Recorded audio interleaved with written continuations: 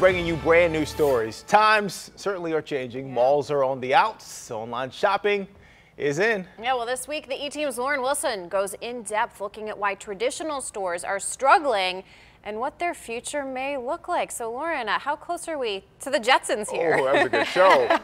good morning, guys. I don't know about the Jetsons. It's not flying cars or teleporting or a robot for workers, but we all know technology changes everything, including the way we shop.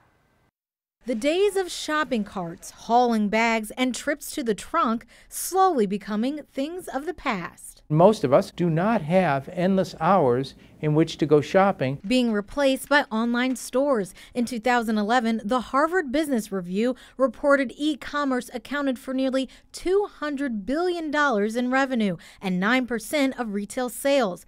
Those numbers, I'm told, still climbing. Online retailing has taken a good uh, percentage, a good chunk out of the uh, market that once existed for uh, brick and mortar type stores. So, what does the future hold? Cleveland State's Richard Klein tells me millennials want the latest and greatest technology can offer, and they want it now. So, retailers are kicking it up a notch, changing everything, including the way we try on clothes. There are talks of a virtual dressing room where you'll literally be able to swipe a screen of clothing options and see how it looks on you without even trying it on, just like this.